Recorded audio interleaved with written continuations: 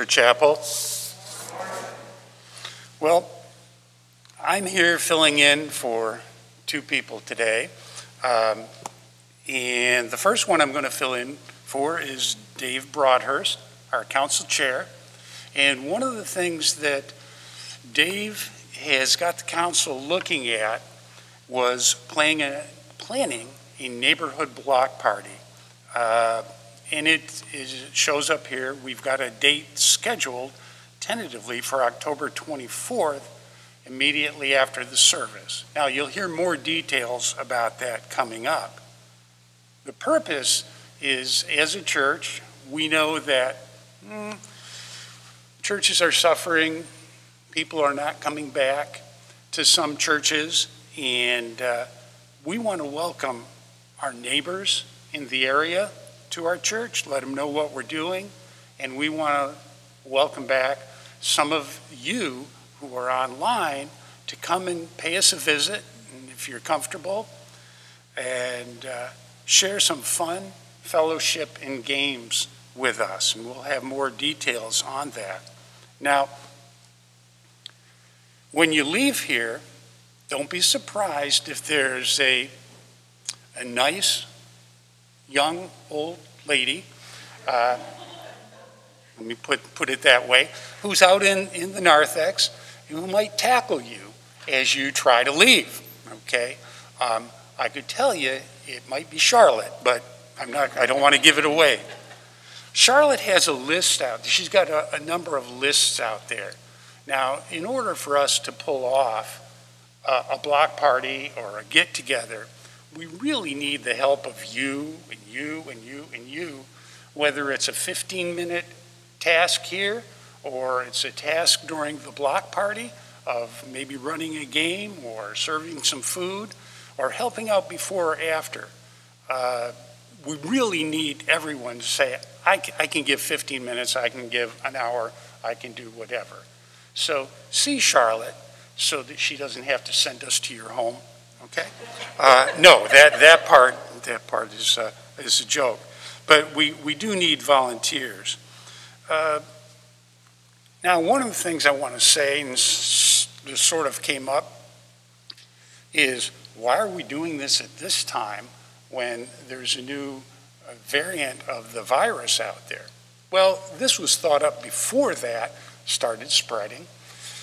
And why are we continuing? Well, if we don't plan, if we don't at least plan, we'll never be able to do this at the time when we are able to invite people in.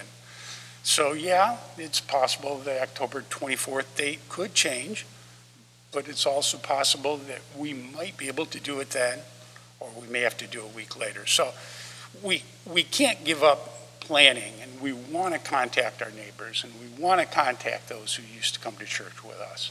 Okay? So stay tuned for that. Uh, we'll have more information out in the future, but please see Charlotte in the next week. Well, I, today would be a good day, but uh, in the next week or two. The other thing I wanted to mention, and this is just a quick thank you from the trustees, is uh, a number of you came out yesterday and helped clean both inside, outside the church, yard work, do some painting in the church, and just spruce it up a little bit so that uh, we're better prepared for reopening. So uh, a big thank you for those who were able to come up and help out. All right? Thank you. Good morning, church. You may have noticed that I am not Pastor Lyle.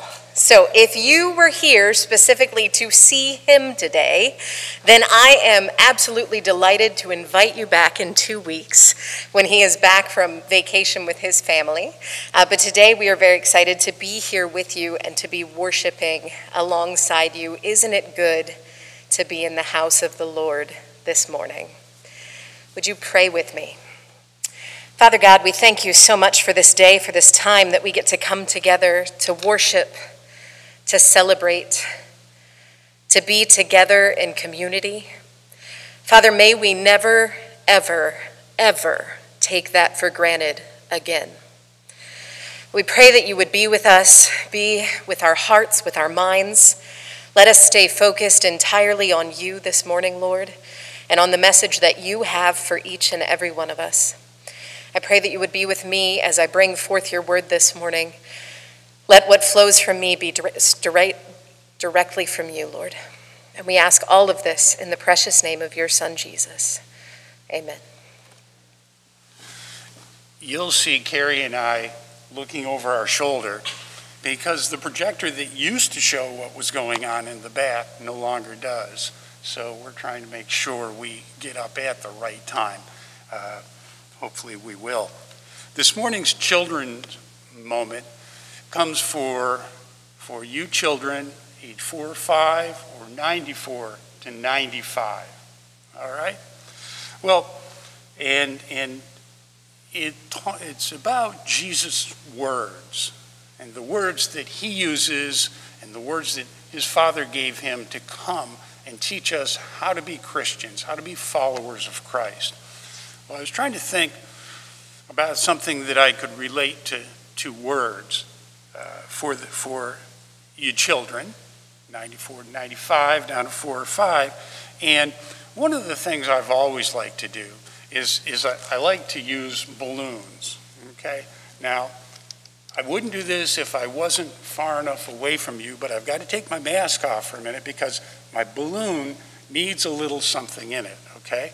And what I'm going to do, I'll tell you in a second here so you know, is I'm going to fill it up with air.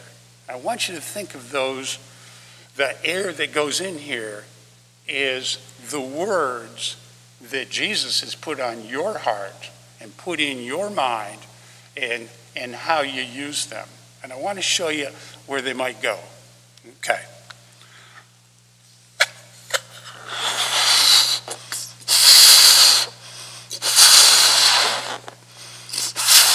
Now, if you're really good, darn, you will. There we go. Okay. If you're really good, you've got a lot of words, a lot of Jesus' words in you. Of course, sometimes you may have a lot of words in you, and they may not be from Jesus. And you, so you have to be careful about what comes out.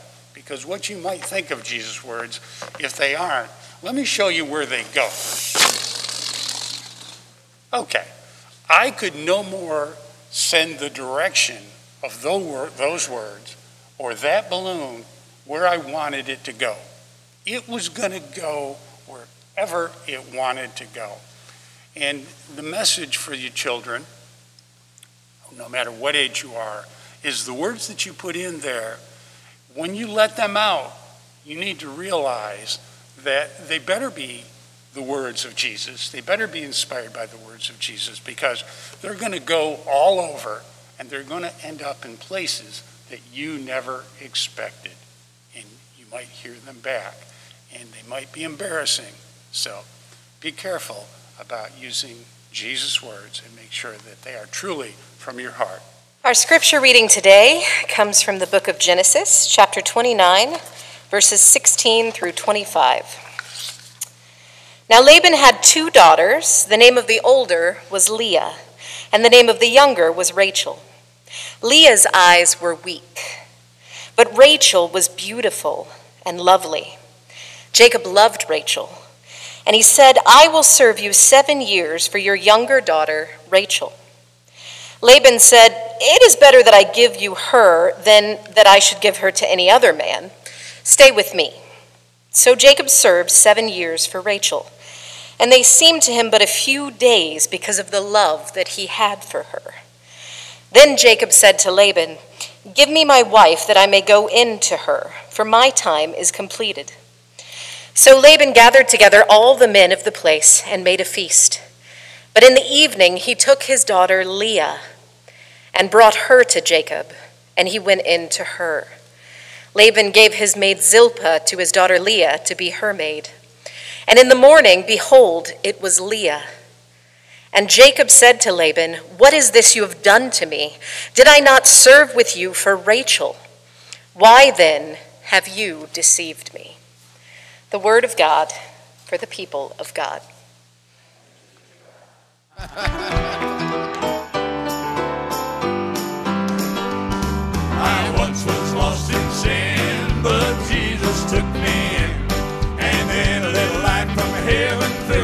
soul. My soul. It made my heart in love, and it wrote my name above.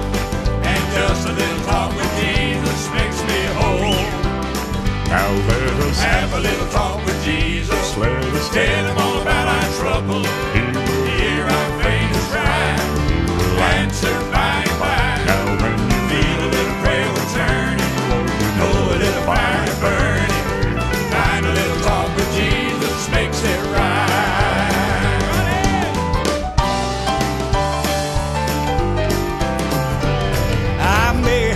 doubts and fears, my eyes be fill with tears, but Jesus is a friend who watches day and night.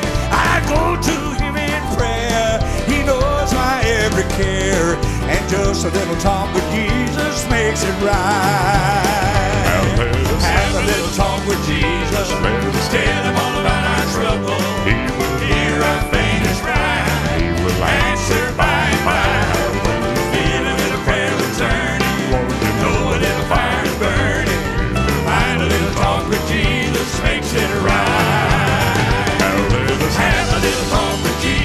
Jesus. Let us Tell him all about our trouble.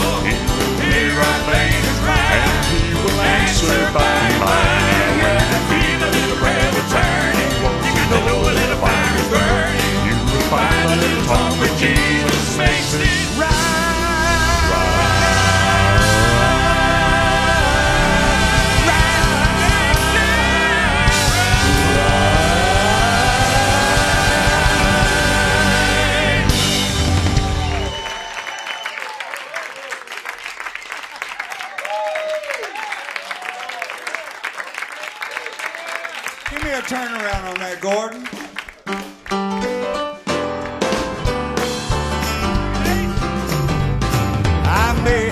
doubts and fears, my eyes be filled with tears, but Jesus is a friend who watches day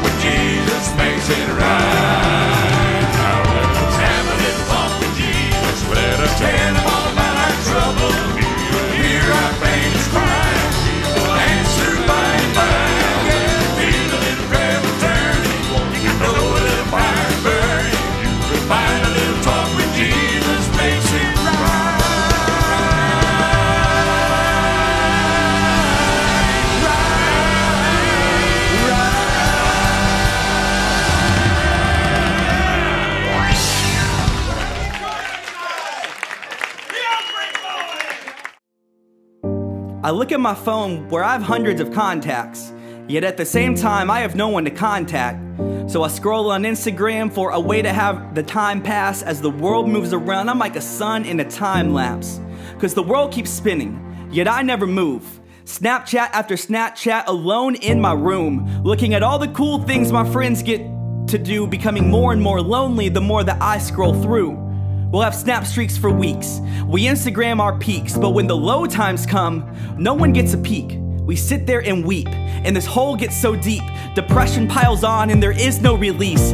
L after L, defeat after defeat. Alone on the sea, a ship without its fleet. So we find things for relief. A person between the sheets. Pills we try to sneak, we just wanna find some peace. We'll get high, we'll get low, whatever to fill that need. We just want to belong, we wanna feel complete. So we rinse and repeat, trying to itch that need, but the itch we cannot meet when we're alone and obsolete.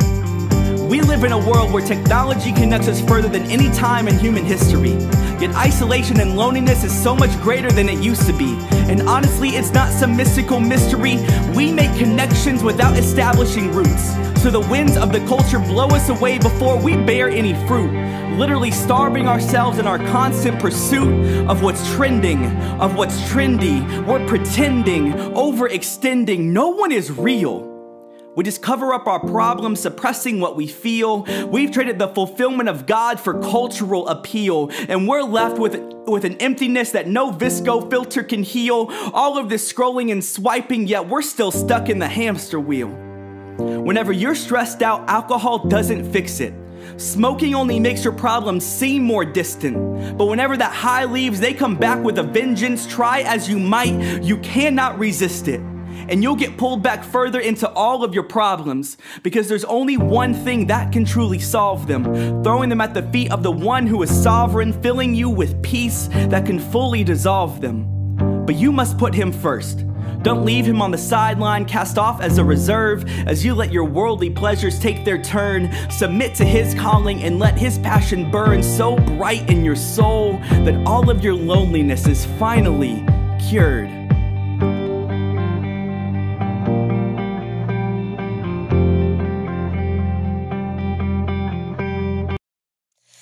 I love that spoken word poem. I don't know if uh, you, you older folks may not have followed some of that, and that's okay. Uh, when I was in high school, sometimes I would sit through a sermon and I would think, the pastor's not talking to me. And so sometimes I think it's important that we bring things down to the level that our youth and our children can connect with, because they are the church too. The next two weeks, I, am, uh, I will be speaking with you about what I like to call lessons from lockdown. So these are things that I learned over the last year, the things that the Lord has put on my heart as we struggled with quarantine and lockdown, um, as we fought COVID in, in my family. But I want to take it back to 2011. At the time, I was 21 years old, and I was going off to grad school for the first time. Now, if you don't think that God has a sense of humor, I'm here to tell you he does. Uh, I had spent all of my high school career studying Spanish.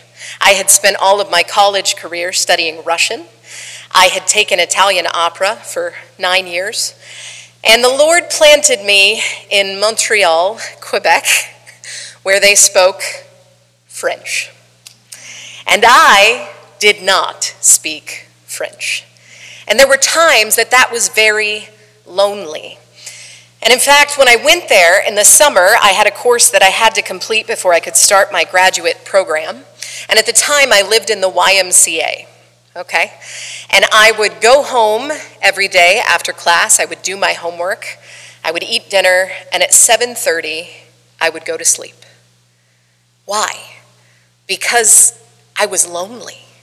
And so what did I do? I slept because that passed the time. In the morning, I would get up and I would go to school and I would do it all again. In my program, there were 100 students and 12 faculty, and I was the only Christian. And that was lonely. I couldn't, I didn't find a church uh, for several months. They are hard to find, actually, in Quebec. Why do I tell you all of this?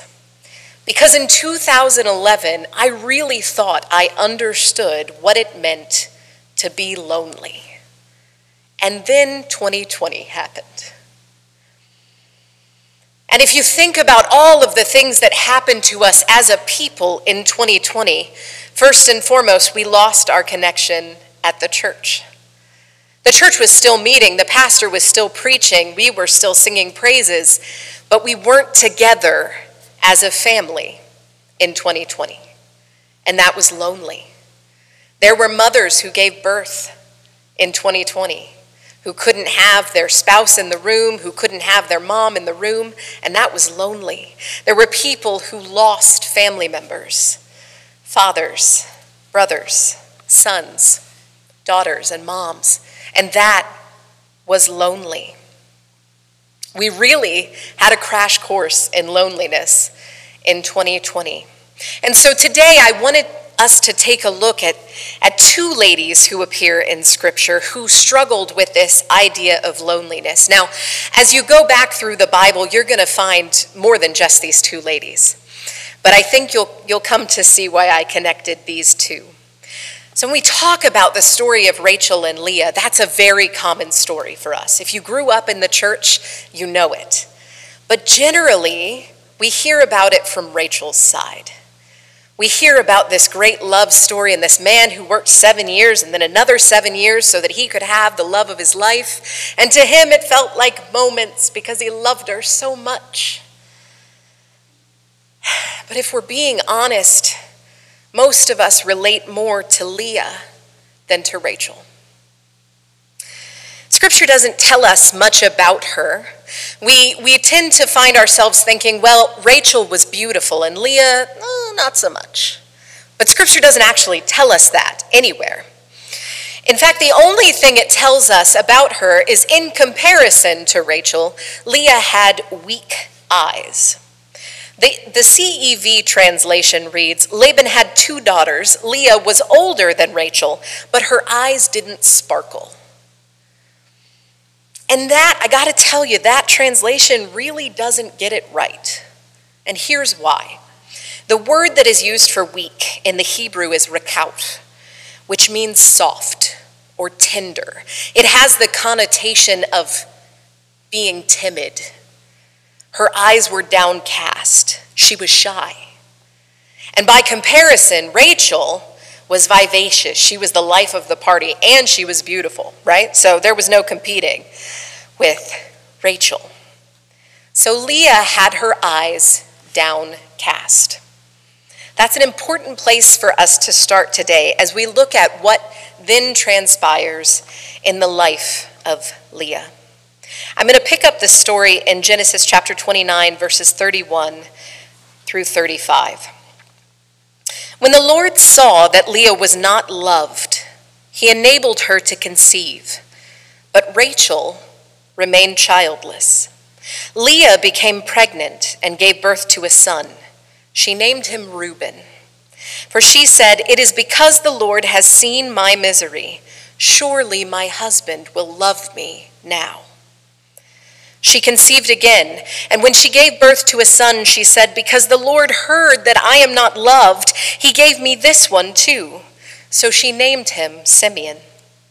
Again she conceived, and when she gave birth to a son, she said, Now at last my husband will become attached to me, because I have borne him three sons. So he was named Levi.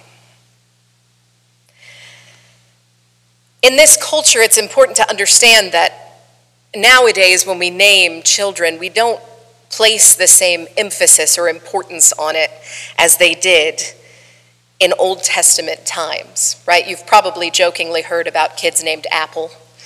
Um, it happens. But in this time, the naming was a very specific and important aspect. You were basically speaking a prophecy over your child through what you named them. So when Leah gives birth to her first son, she names him Reuben. And Reuben literally means see, look, a son. Leah had elevated her husband to such a point that he sort of became God in her eyes. Now, Leah knew the Lord. We know that because every time she gives birth, she says, The Lord has done. The Lord has done. But her focus is not on the Lord, her focus is on her relationship with her husband. Now that I've done this, he will love me. Her first three children were offerings to her husband. So we had Reuben, see, a son, Simeon, which meant to be heard and Levi, which meant united or joined. So she is literally, through the naming of her children, begging her husband for the things that she longed for. This is something that we do all of the time. We don't do it intentionally. I don't believe that Leah did it intentionally. She was in relationship with this man, her husband, who she wanted so desperately to love and to care for her, the way that the Lord did. And people will never be able to love you the way that the Lord does. It's not going to happen. You see, in the Garden of Eden, when the fall of humanity happened, there's a void that was created because we were made, we were created to be in relationship with sovereign God. And when humanity fell, suddenly that daily conversation with God, we could talk to Him anytime we wanted, audibly heard Him back, ceased to exist. And ever since then, we have had this void that we have tried to fill with anything that we can get our hands on. Lord, just give me this one thing and I'll be happy. And it's a moving target because our loneliness can't be solved by other people, only by the sovereign God who created us. What I love about Leah's story is that it doesn't end with those first three sons that she offered to her husband. She gives birth to a fourth.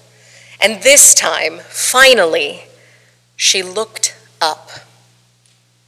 Scripture says in verse 35 she conceived again. And when she gave birth to a son, she said, This time I will praise the Lord. So she named him Judah. Then she stopped having children. This fourth child, it's important to note that nothing about Leah's circumstances changed. The scripture doesn't tell us anywhere that suddenly her husband loved her or favored her or that anything that she had done had changed his opinion about her. He was still all about Rachel. But what changed was Leah's perspective. Leah stopped seeking to serve him and she focused on serving the Lord. And she said, This time, this time, I'm going to praise God.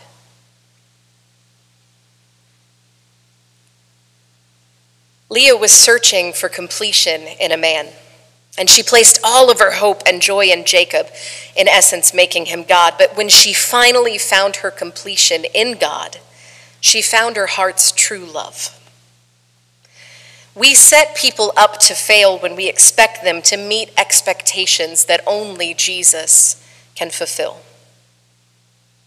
You know, my favorite part of this story is that Judah is in the genealogy of Jesus.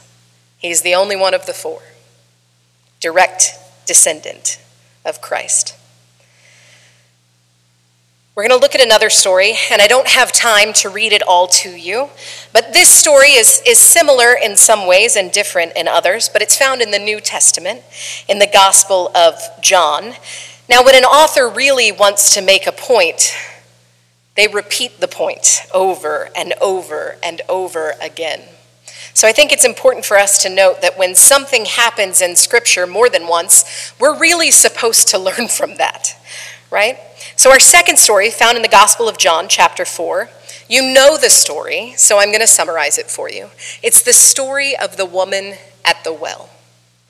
Now, the woman at the well gets a bad rap, right? Because we have in essence, sort of assumed that she was a woman of loose moral character. And we took that from the idea that Jesus speaks to her and says, Go get your husband. And she says, I don't have a husband. And he says, You're right, you've had five husbands. So you say correctly when you say you don't have a husband.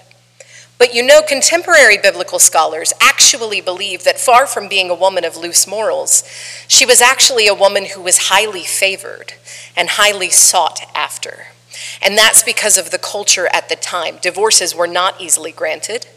And to go after a divorced woman would have been unthinkable. So there must have been something about her that her reputation was actually above reproach, but that she couldn't continue in a marriage relationship with any of these men. So contemporary biblical scholars actually believe that she was most likely unable to bear children. And that was why she was quietly divorced over and over and over again. And she meets Jesus at this well and she's taken aback by the fact that he speaks to her. And she knows the rules and she's being respectful and she says, you know, back off, essentially. And Jesus begins talking to her about water that won't make her thirst. And in verse 23, Jesus says to her, A time is coming and is now come when the true worshipers will worship the Father in spirit and in truth. But here's the important thing about the word that Jesus uses to describe worship. The word in Greek is proskuneo, which is a combination of two Greek words. I don't know if there are any Greek scholars in the house, but there's pros, which means to turn toward, and kuneo, which means kiss. So, what the Lord is saying to this woman who has had five husbands but is not married is if you will just turn toward me with your affection, you will never long for anything again. And that changes the entire story, doesn't it? If we just turn toward Jesus with our affection in those moments of loneliness, in those times when we feel like, Lord, I can't possibly do this anymore. I can't be alone another moment. I can't sit here next to this person who doesn't love me another moment. Jesus says, Hey, just turn towards me with your affection. Perhaps the old hymn said it best Turn your eyes upon Jesus, look full in his wonderful face, and the things of earth will grow strangely dim in the light of his goodness and grace. Pray with me. Father God, we thank you for this simple reminder that in those moments where we're lonely, where we're discouraged, where we feel like we're not seen, where we feel like we're not heard, Lord, you see us, you hear us, and you ask us to bring our affection to you. Father, may we focus on you in those moments of desperation.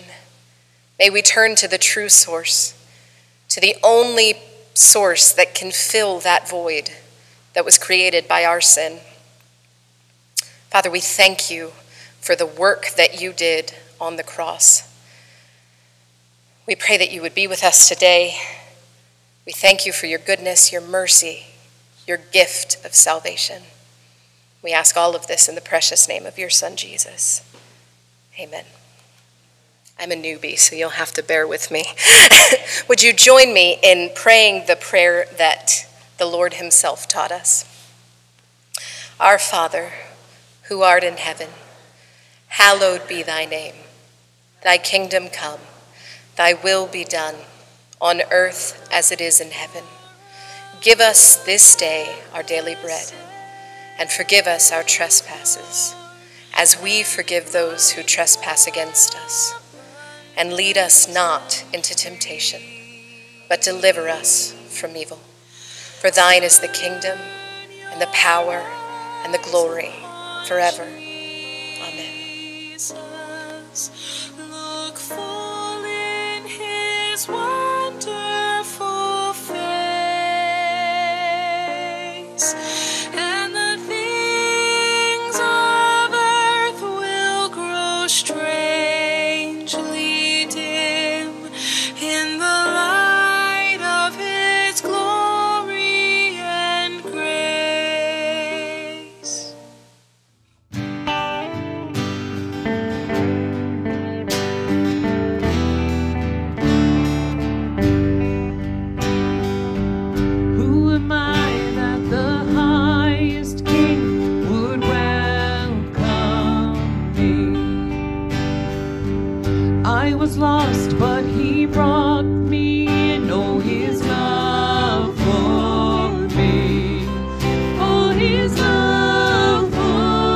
me.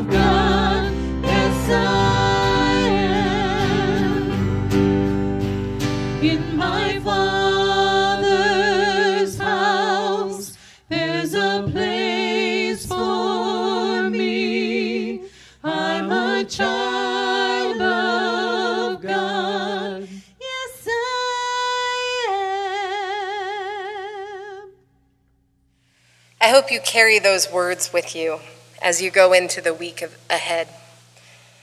Jesus promises that he is a father to the fatherless, he's a husband to the husbandless.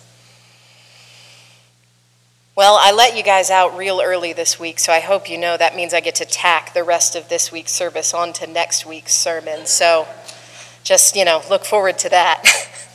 but go now in peace to love and serve the Lord your God through the way that you interact with each other, remembering that only God can be God. And so we're not going to put the expectations that we have of God on man. And may the steadfast love of God the Father, the joyful presence of Jesus Christ, his salvation, and the fellowship of the Holy Spirit be with you all. Amen.